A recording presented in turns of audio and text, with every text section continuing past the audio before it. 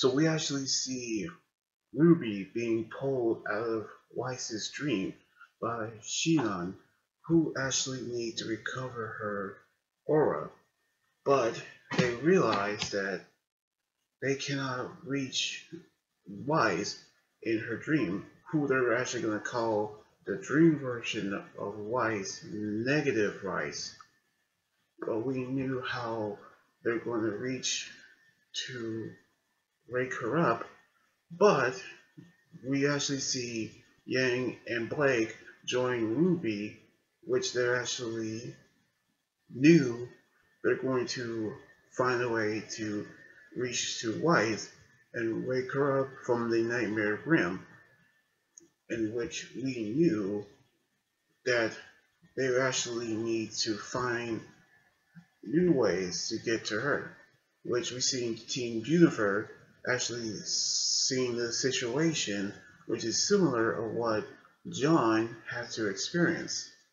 in which we seen Shion actually recovered her aura enough to bring all members of Team RWBY into Weiss's dreams, in which they've all wear these winter outfits that they actually wore, which based on the outfits they actually wear, in which their upgrade weapons are now being improved by the fact that they've all actually got the weapons that Weiss is actually thinking of, in which they witnessed the White Fang attack on the Schnee Dust train, in which they've actually headed over to the wall. But they each got five tokens, which they couldn't race anymore, in which they actually realized that the map that Ruby made is actually gone, in which we see how their scrolls, which is their cell phones, are the ones that's still working. So they decided to split up to find a way to reach towards the entrance in which we knew how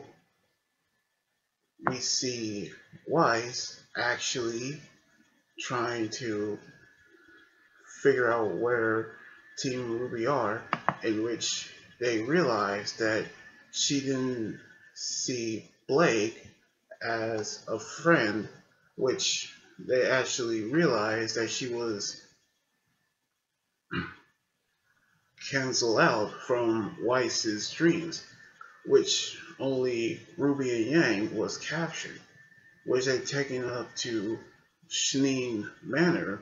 where Sleepy Klein, one of his seven personalities, actually opened the door to their dorm room, which acts as the prison, which of course we knew that they actually going to confront Weiss, which Blake arrived to pick the lock which they actually knew how they found the entrance, which the frozen water fountain that leads towards the antique store. Then they actually went towards the area to find where she is, in which one of the areas that we see in Dopey Klein actually have Pyrrha in the same dress that Weiss actually wore on Volume 4 and actually sing the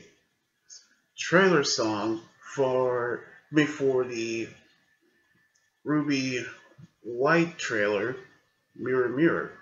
in which Blake and Ruby confronted negative Weiss as they get ready to battle her as well.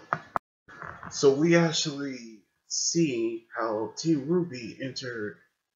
Weiss's dreams with a little Easter egg, which we see Pyrrha singing the Mirror Mirror song from the second trailer of the original RWBY series, which is the trailer of the first season, and then we knew how they actually confronting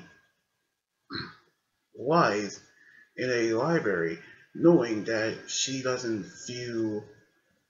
the faunus as equal. So we're actually going to see what's going to happen on the next episode next weekend.